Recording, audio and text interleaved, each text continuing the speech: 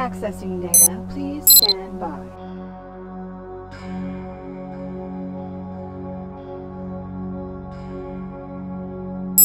In the production of electric energy, SCR reactors remove harmful pollutants from exhaust gases of coal-fired power plants.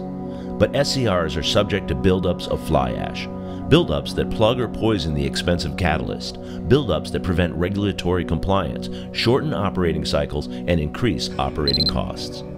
To control these costly accumulations, Martin Engineering has introduced a new total catalyst cleaning system that combines the Martin ash sweeper with the Martin Megasonic horn to keep fly ash moving through the catalyst. The Martin Megahorn provides a blast of low frequency, high energy sound that prevents fly ash from accumulating throughout the reactor.